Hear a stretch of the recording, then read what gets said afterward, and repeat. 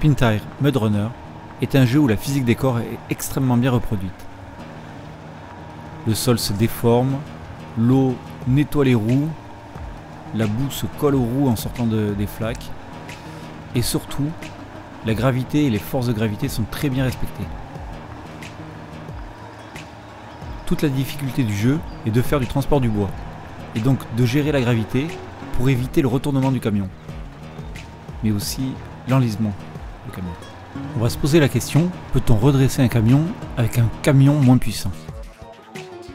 Bonjour, c'est Scientiprof, t'as montré des montres. Il y a de nombreux véhicules dans Spintire. Ils sont tous existants. On peut retrouver le poids, les caractéristiques de tous ces véhicules. Le véhicule se retournera si la projection du centre de gravité sort du polygone de sustentation. Le polygone de sustentation, c'est le contact des quatre roues. Vous voyez ici, le centre de gravité est encore au milieu des quatre roues, mais le problème est sur la remorque. Le centre de gravité est plus haut, la remorque bascule et entraîne avec elle le camion. Le camion ensuite cale et le jeu est fini.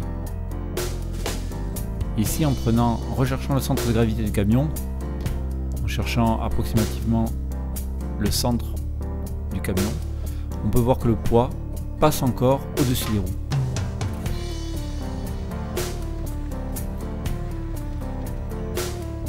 Tant que le poids passe au-dessus des roues, le camion ne se renverse pas. Mais dès que je charge le camion ici, donc j'ai élevé un peu le centre de gravité, il est donc plus facile de faire passer le poids à l'extérieur des roues pour pouvoir le retourner.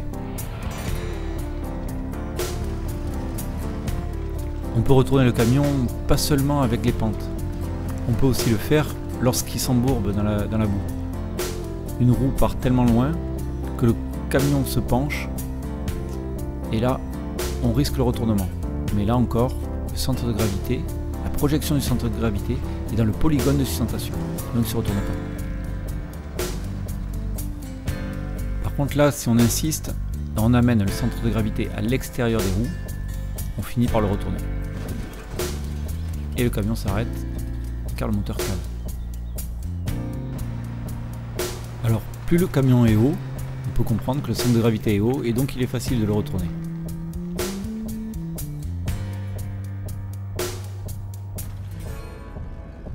On va faire la manip suivante en accrochant un treuil. Le treuil en le mettant d'abord sur le côté du camion. Et je vais tendre le treuil petit à petit pour voir quelle est la limite de l'équilibre du camion.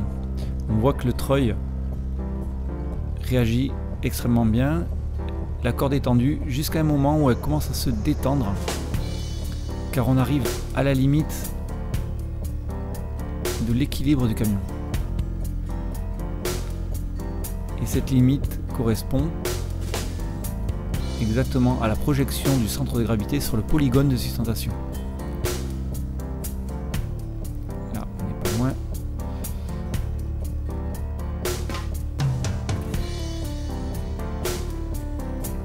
Voilà, le câble se détend, le camion est en équilibre sur sa roue.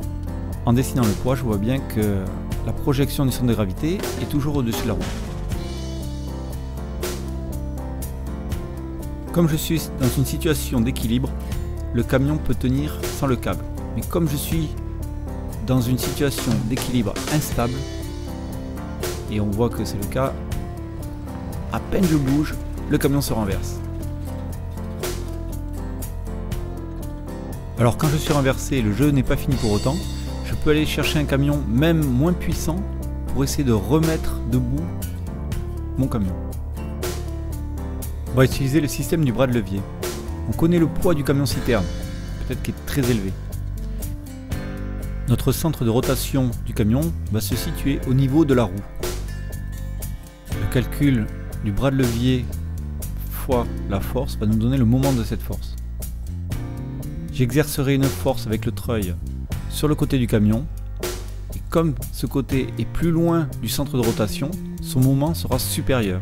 Et donc, je peux retourner mon camion citerne avec un camion plus léger. C'est ce que je fais en allant chercher le petit camion.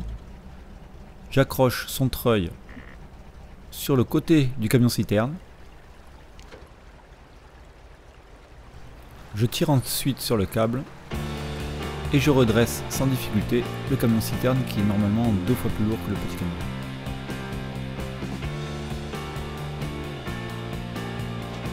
Voilà. C'est grâce à ces lois physiques qu'on peut se sortir de toutes les situations dans ce jeu, car elles sont extrêmement bien suivies. Il ne manque plus qu'à vérifier si les ponts en bois peuvent tenir une charge aussi importante.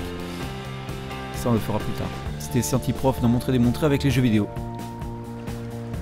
Et rappelez-vous, quand la projection du centre de gravité dépasse le polygone de sustentation, ça tombe. Quel que soit ce qu'on fait.